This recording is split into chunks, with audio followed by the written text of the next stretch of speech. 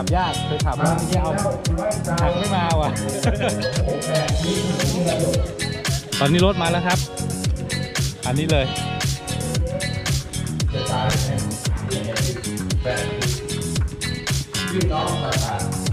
๋ยวเราไปคันนี้นะครับนี่โชเฟอร์ผม ยกล้อเลยนะพี่วันนี้ อย่าอย่าไปกวนพี่เดี๋ยวพี่เขาจัดหนักให้นะครับ เดี๋ยวไปดูที่ท่องเที่ยวด้านหน้าต่อจากนี้กันนะครับไปยากเหมือนกันนะ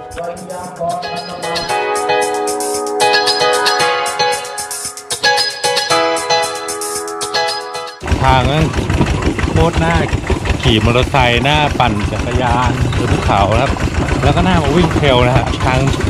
ทางสนุกเลยนะฮะแต่รถใหญ่นี่คือหมดสิทธิ์นะครับ รถเก๋งรถยนต์ ถ้ารถยนต์ต้องเป็นโฟวิลนะครับเพราะทางแคบด้วยเป็นออฟโรดนะครับแล้วผ่านลำธารเนี้ยเป็นสิบสิบลำธารเลยนะฮะมีขี่ลุยไปกลางลำธารด้วยนะครับโลออกอีก 4 กิโลนะครับ แต่ว่าจะเป็นทางแบบนี้นะฮะ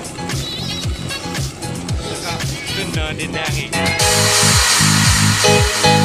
ก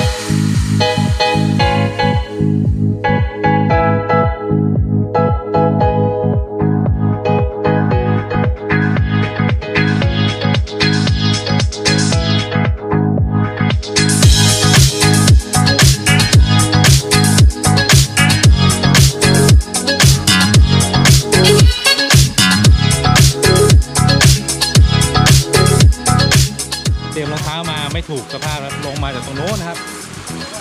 ทางนึงครับ แล้วแต่เดี๋ยวไปเที่ยวที่อื่นต่ออีกน้ำตกตาดยาวนะครับโอ้ยน้ำเย็นมากครับตอนนี้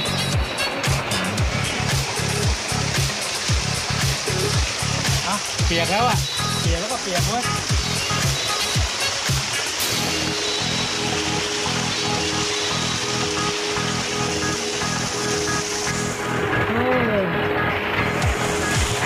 ขึ้นวะ